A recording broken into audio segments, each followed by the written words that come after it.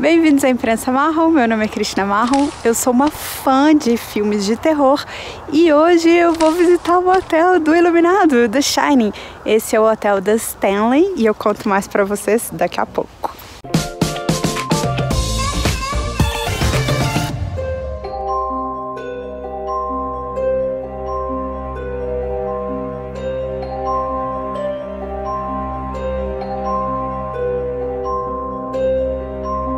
Eu tava achando a frente muito diferente do que ele era. Eu tava assim, tipo, será que é aqui?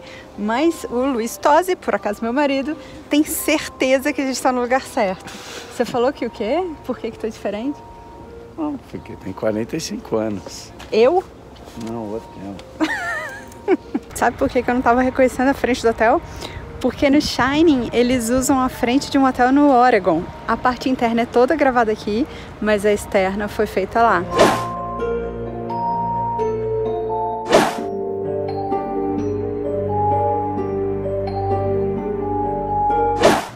Here's Johnny! Eu não sei se é porque eu vi o filme, sei lá, zilhões de vezes ou se é assustador de verdade, mas dá um. Está aqui, tô adorando. Tá vendo esse piano aqui? Ele era da mulher do dono, né? Da, da dona daqui. E direto ouvindo de madrugada esse piano ser tocado e ninguém pode tocar. Tipo, ninguém tem permissão para encostar nesse piano.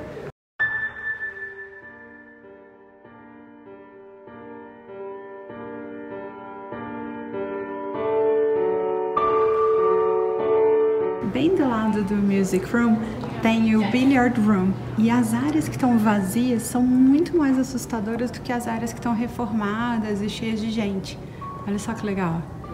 Gente, uma coisa incrível que eu acabei de descobrir é que quando Stephen King veio para escrever um livro nesse hotel, não era a intenção dele fazer o The Shining, mas ele realmente veio com a mulher e o filho e ele estava lidando com os próprios demônios. Ele bebia muito e isso é muito é, autobiográfico. Não sabia. E muitas das histórias que estão no livro e no filme são histórias que o barman contou para ele, que eram histórias reais que aconteceram aqui.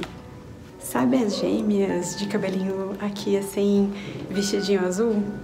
Então, elas eram de verdade e elas ficaram aqui é, no comecinho dos anos 60 final dos anos 50, passaram vários verões, era tudo verdade e o bartender contou pro Stephen King que usou isso no Shining. Incrível! And ever and ever. Gente, olha que legal! É a maquininha original. Tcharam! Olha que bacana. Não posso encostar, mas enfim, tá aí pra vocês. Uma curiosidade sobre o The Stanley é que Debbie Lloyd também foi gravada aqui.